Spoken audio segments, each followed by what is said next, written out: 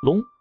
话说河北省界有条龙坠落到村里，龙笨重迟缓地爬进一绅士家中，门口刚能容过他的身躯，龙挤塞进去，家里的人都吓跑了。登到楼上大声乱叫，轰轰隆隆的放着火枪土炮，龙才从他家里爬出去。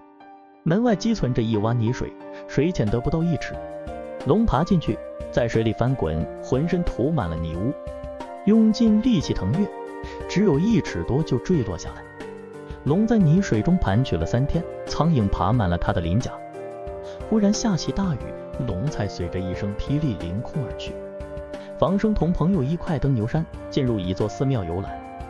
忽然船床落下一块黄砖，上面盘着一条小蛇，像蚯蚓那样细小。蛇忽然旋转了一周，变得同指头一样粗，又转一周，已经同袋子一样了。人们都很惊讶。知道是龙，忙一块跑下山。刚走到半山腰，听到寺庙中一声霹雳，震动山谷，天上的黑云像一顶盖子，一条大龙在云中矫健的翻腾着，一会儿就不见了。章丘县的小乡宫庄有一个农妇到田野去，遇到大风，风沙扑面，觉得一只眼被眯了，像是有根麦芒，又揉又吹，也始终不好。翻开眼皮仔细看看，眼睛倒没有毛病。只在肉上有一条弯弯曲曲的红线，有人说这是一条蛰居的龙。农妇听说忧愁害怕的要死。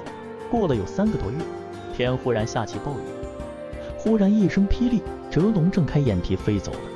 农妇没受一点伤。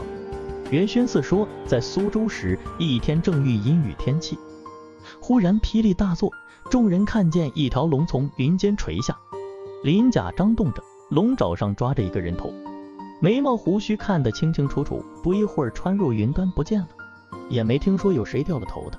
好了，这个故事就讲完了。如果喜欢就点个赞吧，谢谢。